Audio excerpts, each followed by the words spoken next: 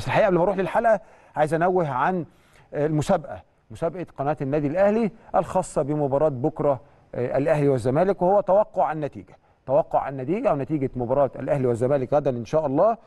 طبعا شروط المسابقة تكتب تعليقك طبعا أو توقعك لنتيجة المباراة في تعليق. طبعا هتعمل منشن لخمسة من أصدقائك في التعليق مع التوقع اللي أنت توقعته.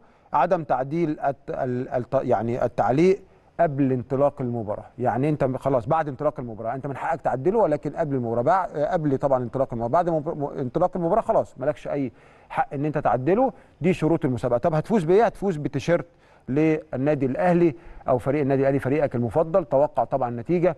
أكيد أنتوا زي ما حضراتكم عارفين إن إحنا خلاص حسمنا بطولة الدوري العام ال 43 لفريق كرة القدم اللي إحنا الحقيقة بنهنيه ونبارك له. عودة تاني درع الدوري لمكانه المفضل في موسم هو الأطول الحقيقة من أطول المواسم اللي لعبته فرقه الكورة السنة دي واللي كان شكلها بفضل الله على طوال الموسم بشكل ثابت. اهتزازات كانت بسيطة جدا طوال الموسم حتى الهزة ما كانش بالطول. يعني مباراة ممكن تلعبها وحش ولكن اللي بعديها على طول بتلاقي الفرقة رجعت لمستواها من أنجح المواسم الحقيقة اللي لعبتها فرق فرقة كرة القدم. كان هذا الموسم دعم يعني غير مسبوق من مجلس الإدارة بقيادة الكابتن محمود الخطيب والمجلس بالكامل.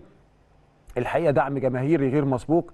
الفريق عمل من أحلى المواسم اللي اتعملت السنة دي ولسه لسه فريق كرة القدم ننتظر منه المزيد والمزيد.